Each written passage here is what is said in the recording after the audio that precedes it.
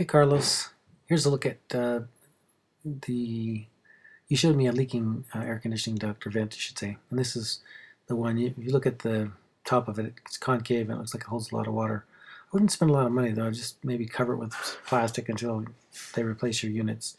Here's just another look at some of the uh, things that you've installed on the roof. That's the back side, which is kind of cockeyed. I was telling you about installing I-beams underneath these um, uh, instead of the 4x4s just so we could have something to seal to.